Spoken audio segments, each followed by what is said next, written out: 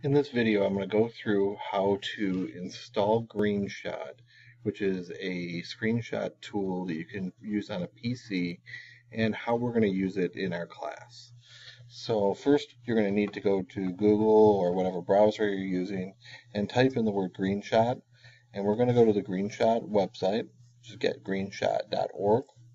We're going to go to downloads right here in the middle of the page, and we're going to download the most stable release. Now GreenShot is a pretty small program, so it installs pretty quickly. So click on it, and we're going to run that item right there. And we're going to install that, and we would like to install that in English. And we'll run the wizard. I accept the terms, so go through the terms and agreement if you need to. And we're going to install that, but it is a open source program and we're going to choose some of the things that we might want. Now there are some cool plugins. They have a box plugin and a Dropbox plugin. If you use those services, they might be kind of interesting to you. Um, I am going to have uh, my GreenShot um, files saved to my Dropbox.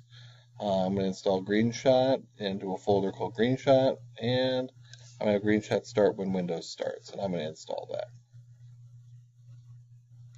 Now GreenShot takes a minute to, to start up and to optimize.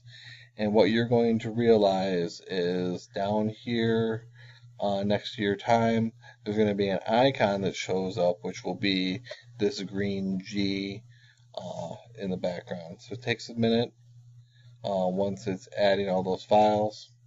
Um, and we'll finish that up. I'm just going to click on the G here and finish that up and we should start to see that icon show up down here at the bottom.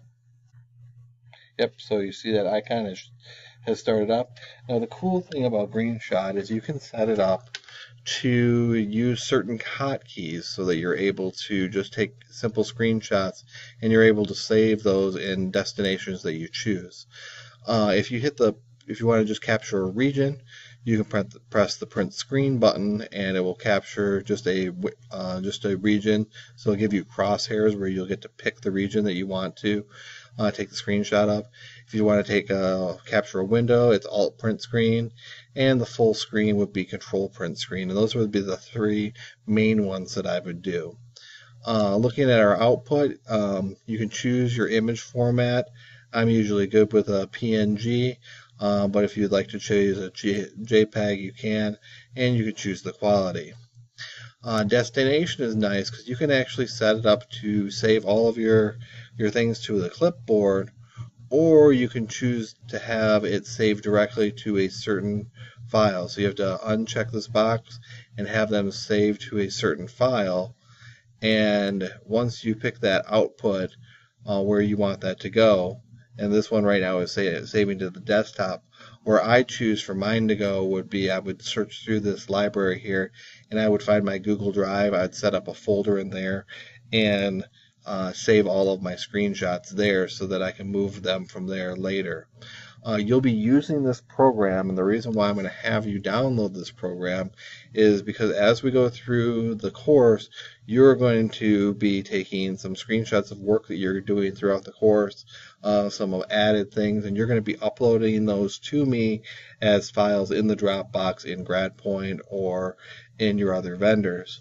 Um, also, you are going to be building a web page as part of your science curriculum uh, to show off your projects that you've done throughout the course of the semester. And you might want to take some screenshots of uh, different things that you've created there. So uh, GreenShot is going to be a good use for you if you are using a PC. I'm also going to create another video on how to take screenshots with a Mac if you need to do it that way.